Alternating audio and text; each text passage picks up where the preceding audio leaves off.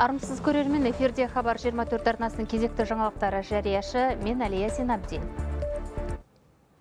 Президент Қасым Жомарт Тоқаев Қатар әміріне құттықтау жедел хатын жолдады. Мемлекет басшысы Қатар әмірі Шейх Тамимбен Хамат Әлтаниді және Қатар халқын ұлттық күнімен құттықтады. Осы мерейлі мейраммен тұспа-тұс келіп отырған футболдан әлем чемпионатының сәтті әрі табысты аяқталуымен шын жүректен құттықтаймын. Дүниежүзілік брендке айналған бұл дүбірлі дода Қатардың бай қуатты және болашаққа нық сеніммен қадам басып келе жатқан ел екенін тағы да растады. Әсіресе қарапайым спорт жанкүйерімен қатар халықаралық қауымдастықты әлемдік біріншіліктің жоғары деңгейдегі жаңа стандарттарына куә болды деп жазылған жедел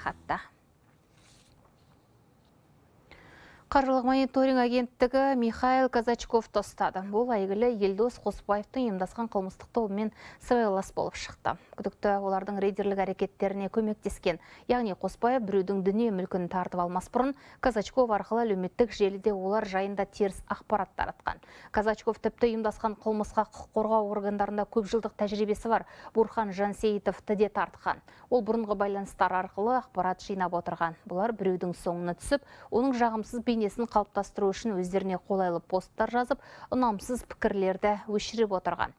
Тергеу барысында Жансейітов пен Казачковтың өз қызметтері үшін қылмыстық топтан 52 миллион теңге сыя қалғаны дәлелденген. Олар Есентай Сити жобасындағы үлесті рейдерлік басып алу үшін бірқатар мақалалар жариялаған. Шыны ыдыстар шығаратын зауытқа қатысты рейдерлік іске де қатысы бар анықталды.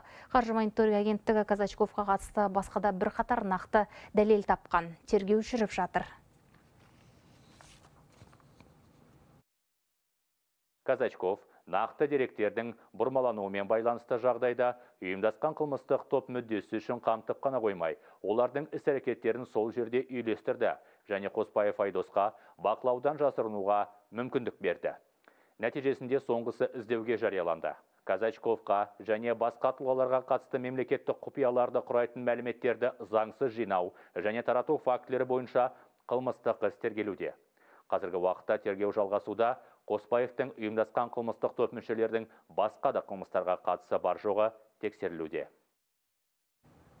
Кеше жол апатына ұшыраған балалардың бесеуі жансақтау бөлімінде жатыр. Жағдайлары ауыр болғанымен бір қалыпты. Үшеуі орташа халде. Олар хирургия бөлімінде ем алады. Ал олардың жаттықтырушысы әлі есін жиған жоқ. Балаларға медициналық көмек тәулік бойы көрсетіледі деп хабарлайды. Ақтөбе облысының баспасөз қызметі. Жағдайды өңірдегі тілшіміз Әнуарбек Мырзатайұлынан білейік. Жас спортшылар мінген жол көлік оқиғасы кеше Ақтөбе Болгарка Шұбарқұдық тас жолында орын алған болатын. Полицияның хабарлауынша салонында 11 адам болған Toyota Estima маркалы машина аударылып түскен. Салдарынан сол жерде бір жасөспірім қаза тауып, 8 түрлі дене жарақатымен Ақтөбедегі балалар ауруханасына түсті. Дәрігерлер түні бойы ота жасалғанын айтады. Себебі кейбірінің жарақаты ауыр болған. Қазіргі уақытта балдардың жағдайы ауыр тұрақты, ИВЛ-да жатыр аппаратта гемодинамикалары тұрақты. Енді уақыт керек аман сау шығады деп ойлаймыз. Дәрі дәрмек жеткілікті. Бәр аппаратура бәр мамандар бізде бар. Ем алып жатқан балаларға қажетті көмек көрсету үшін қазір нақты шаралар қолға алынған. Арнайы медициналық құралдар мен дәрі дәрмек жеткізілуде. Тіпті қажет болса астана мен алматыдан да жоғары білікті мамандар әкелу көзделіп отыр. Осы мәселеге байланысты облыс әкімінің тапсырмасымен шұғыл комиссия құрылып қазіргі уақытта тергеу тексеру амалдарының бәрі жүріп жатыр. Ата аналардың өздері де қазіргі уақытта психологиялық көмек алды дәрігерлермен кеңесіп дәрігерлермен сөйлесіп отыр. Балаларын көру үшін реанимацияға не болмаса палатаға жіберіліп отыр. Әзірге нақтысы 2010-2011 жылдары туылған жасөспірімдер облыс орталығында өтетін волейбол жарысына белгіленген күннен бір тәулікке кешігіп жолға шыққан. Олардың қасында бірге болған жаттықтырушы да қазір ауруханада жатыр. Ал көлік жүргізушісі қазір қамауға алынған. Орын алған жайтқа орай тергеу жүріп жатыр. Әнуарбек мырзатайұлы айбек даутов ақтөбе хабар 24 Шетел жаңалықтары Ауғанстанда жанармай таситын жүк көлігі атылып кетті. Ол туннельдің ішімен өтіп бара жатып жарылған. Маңайда халық көп болғанға ұқсайды. Сол жерде 19 адам опат болып, 32-сі жараланды. Арасында балалар бар. Оқиға ел астанасы Кабулға жақын жерде болған. Мамандар құрбандар саны әлі артуы мүмкін дейді. Өйткені үйінділер астында адамдар қалып қою мүмкін. Оқыс оқиғаның нақты себебі белгісіз. Солтүстік Корея Жапон шығыс теңізіне қарай тағы да баллистикалық зымырандар ұшырды. Бұл туралы оңтүстік Кореяның Ренхал агенттігі хабарлайды. Екі снаряд 500 шақырымдай қашыққа бары түскен.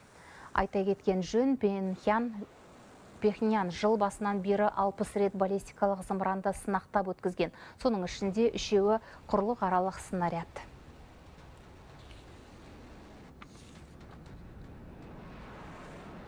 Ақштың мексикамен арадағы шекарасын орналасқан эль пасо қаласында төтенше жағдай жарияланды. Оған мигранттар нөпірінің толастамауы себеп.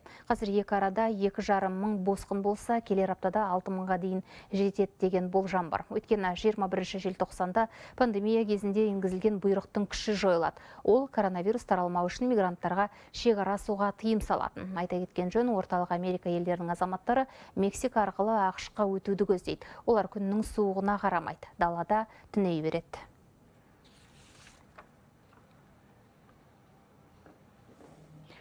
Грузияда баспана қымбат, пәтер ақысы да екі есе өскен. Басты себеп Украинадағы шиеленіс дейді мамандар.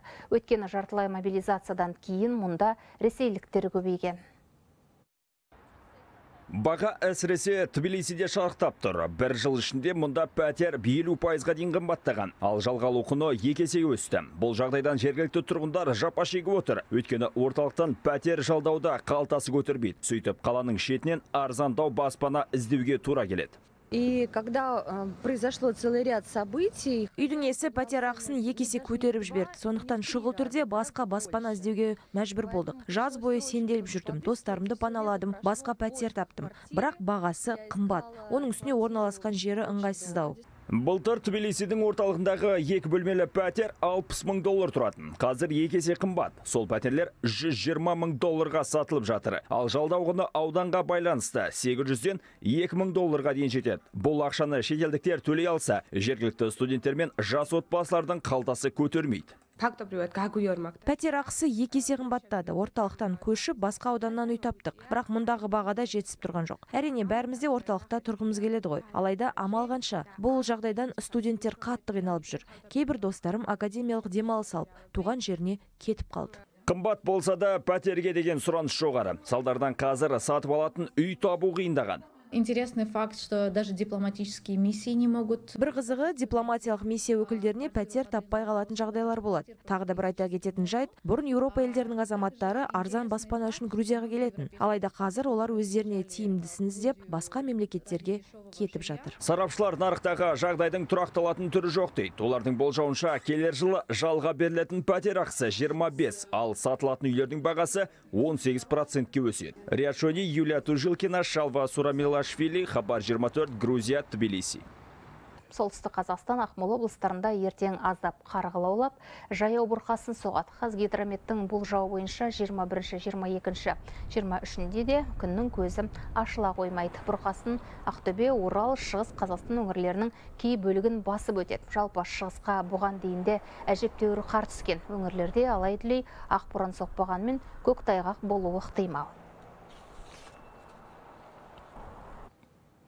Пәтеріміз бір жылымай ақ қойды. Екібастұздағы біраз үйдің тұрғындары осындай халде отырмыз дейді.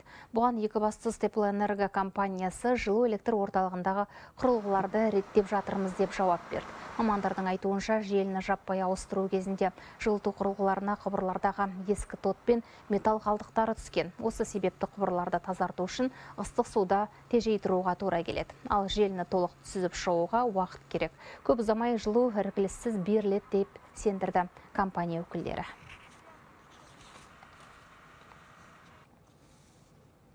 Қыстың көзі қырауда біраз жұрт үйін жылыта алмай бүрсен қағып отырса, түркістандықтар лимон қызанақ жинап жатыр. Өңірдегі бір емес бірнеше ауданда тропикалық жеміс өседі. Бағбандар цитрустық жемісті жерсіндіріпті. Тіпті бил лимоннан мол өніп, өнім жинап жатқандарын айтты. Сарағаш ауданы Бағыс елді мекенінің тұрғыны Манатәлі Таңсықбаев үйіргесіндегі 60 сотық жылжайға лимон өсіреді. Мейір сұрыпты лимонның көшетін 10 жыл бұрын Өзбекстаннан әкеліп отырғызыпты. Бағбан жеміс ағашының бойын өсіріп алу үшін алғашқы жылдар көшеттің гүлін теріп алып тастау қажеттігін айтады. Бірінші екінші жылы гүлдейді, салады, бірақ алып тастай беру керек та оны. Үшінші жылы 15-20 килограмм береді, төртінші жылы 40 килограмм береді, бесінші жылы 60 сонымен жылдан жылға көбейіп кете береді бұл мына жерде 640 ағаш бар 640 ағаш ең кемі 100 килодан беріп жатыр 64 тонна лимон. 60 тонна деп есептейікші 60 тонна лимон теріп жатырмыз 500 теңгеден. 500 теңгеден есептей беріңіз 50 жылға шейін өмір жасайды. Қазір жылжайда өнім жинау науқаны жүріп жатыр. Дайын өнім ішкі нарықта саудалануда. Бағбан лимон ағашы басқа жылжайда өсетін көкөніс дақылдар сияқты жылуды аса қажет етпейтінін айтады. Қыстың күні 2 градус жылы болса жеткілікті дейді. Экологиялық таза тыңайтқыштар сеуіп, жылына екі рет топырағын қопсытады. Жылжай арнайы агрономдардың бақылауында.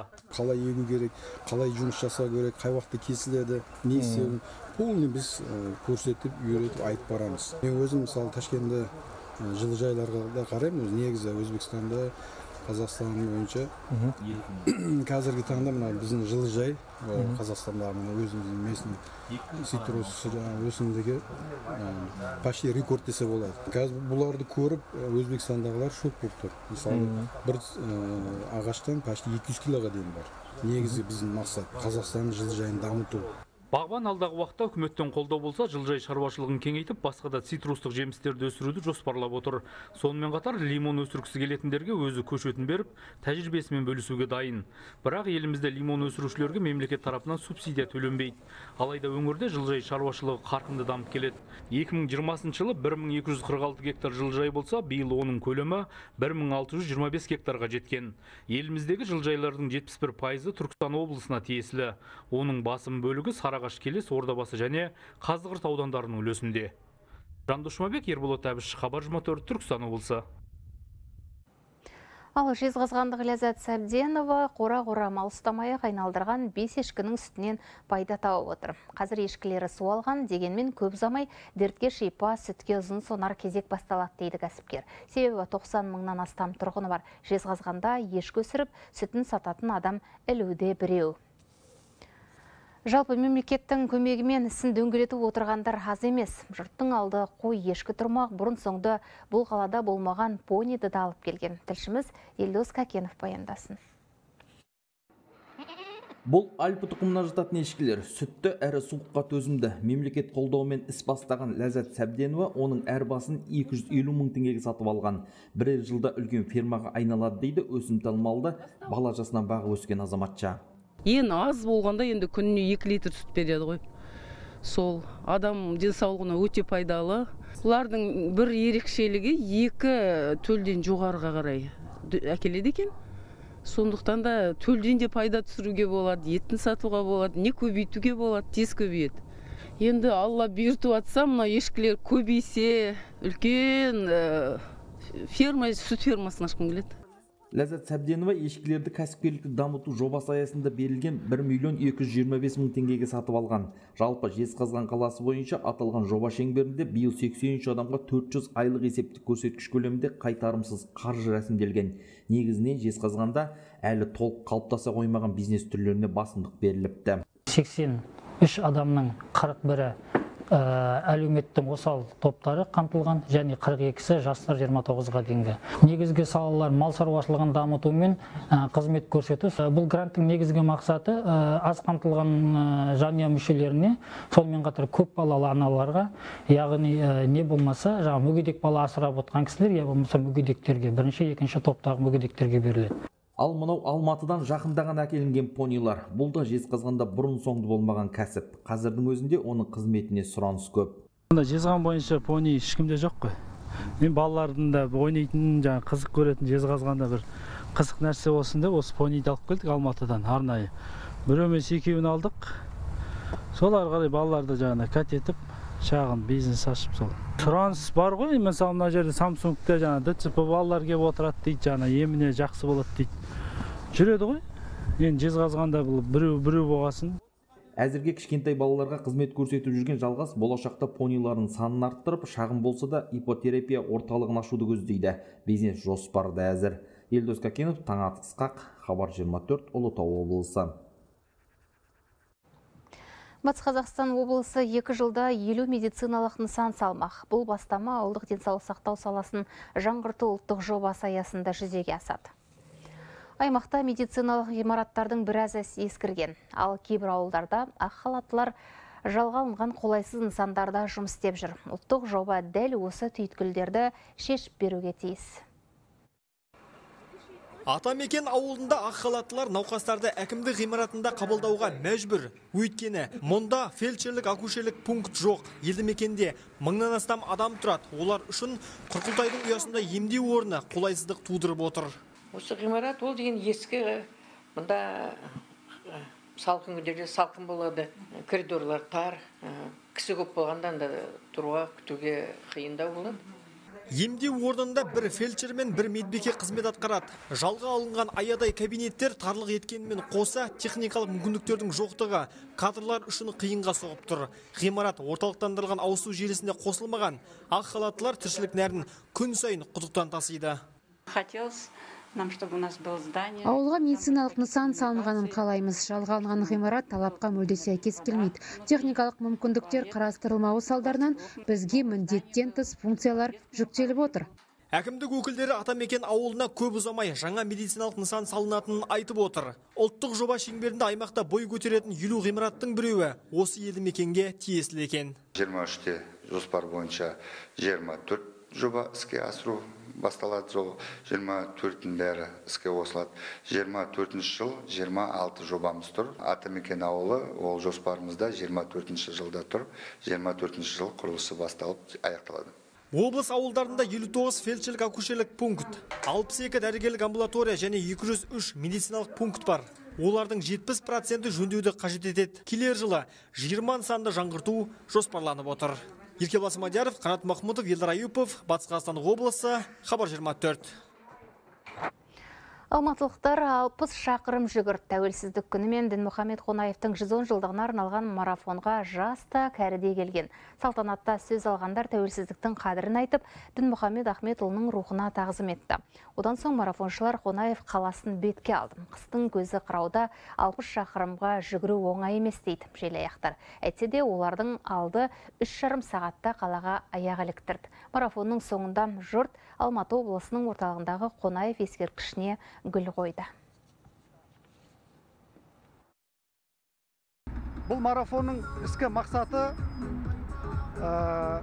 жастарды спортқа баулу салауатты өмір салтын ұстану және де патриоттық жастардың патриоттық рухын арттыру мақсатымен жүзеге асырылып жатқан іс шара Әзірге айтарымыз осы арнамыздың жаңалықтарын 24 нүкте кезет сайтынан көре аласыздар.